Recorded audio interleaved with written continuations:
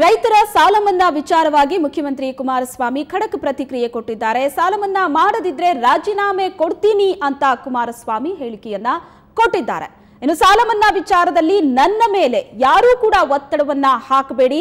ಒಂದು ವಾರ ಕಾಲಾವಕಾಶ ಕೊಡಿ. ರೈತರು ಆತ್ಮಹತ್ಯೆ ಮಾಡಿಕೊಳ್ಳಬೇಡಿ ಕಾಂಗ್ರೆಸ್ನವರು ಹಣಕಾಸು ಖಾತೆ ಬೇಕು ಅಂತ ಪಟ್ಟು ಹಿಡಿದಿದ್ದಾರೆ ಅಂತ ಎಚ್ಚರಿಕೆ ಹೇಳಿಕೆಯನ್ನ ಕೊಟ್ಟಿದ್ದಾರೆ.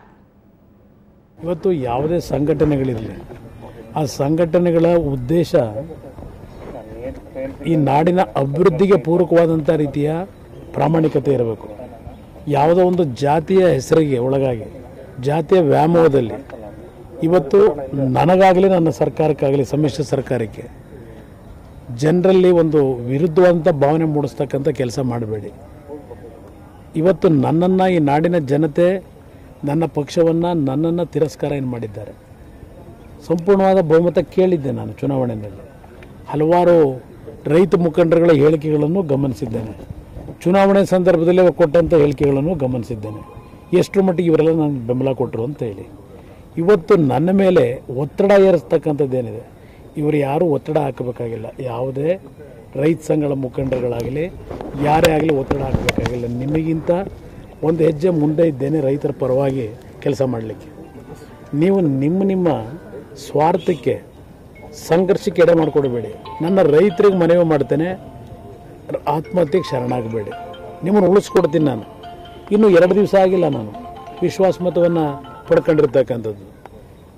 ಇಷ್ಟು ವರ್ಷದ ಜ್ವಲಂತ ಸಮಸ್ಯೆ ಏನಿದೆ?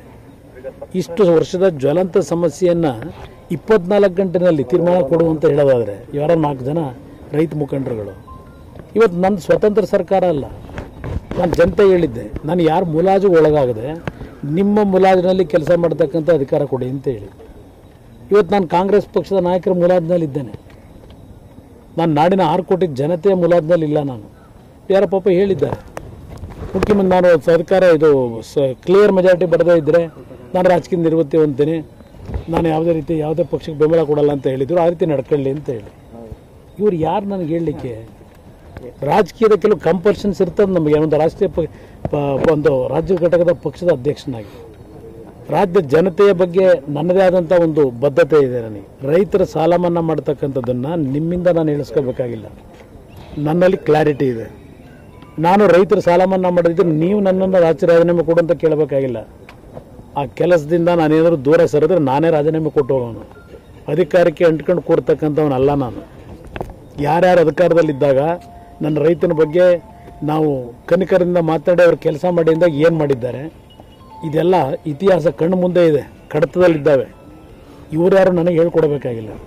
ನನ್ನ ರೈತನ ಸಾಲ ಮನ್ನಾ ಮಾಡತಕ್ಕಂಥದ್ದು ನನ್ನ ಮೊದಲನೇ ಆದ್ಯತೆ. ಸ್ವಲ್ಪ ಸಮಯ ಅವಕಾಶ ಕೊಡಿ, ಒಂದು ವಾರ ಒಂದು ವಾರ ಟೈಮ್ ಕೊಡ್ಲಿಕ್ಕಾಗಲ್ವ ನಿಮ್ಮ ಕೈನಲ್ಲಿ? ಇನ್ನೂ ಮಂತ್ರಿಮಂಡಲ ರಚನೆ ಆಗಿಲ್ಲ.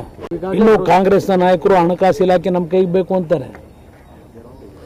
ಹಣಕಾಸು ಇಲಾಖೆ ನಮ್ಮ ಸುಪುರದಲ್ಲಿರಬೇಕು ಅಂತ ಅವ್ರು ಕೇಳ್ತಾರೆ. ಹಣಕಾಸು ಇಲಾಖೆ ಯಾರ ಕೈಗೆ ಬರುತ್ತೆ ಅಂತಕ್ಕಂಥ ಇನ್ನೂ ಕಾಯ್ತಾ ಇದ್ದೇನೆ. ಈಗ ಸರ್ ಪ್ರಮುಖ ಖಾತೆಗಳಿಗಾಗಿ ಅದೆಲ್ಲ ಪ್ರಮುಖ ಫೈಟ್ ಏನಿಲ್ಲ. ಹಂಚಿಕೆ ಖಾತೆಗಳ ಹಂಚಿಕೆ ಸಂದರ್ಭದಲ್ಲಿ ಪ್ರತಿ ಸಂದರ್ಭದಲ್ಲೂ ಇದು ನಡೆಯತಕ್ಕಂಥ ಸಹಜ. ಇದು ಪೈಪೋಟಿ ಅಂತಕ್ಕಂಥ ಪ್ರಶ್ನೆ ಏನಿಲ್ಲ.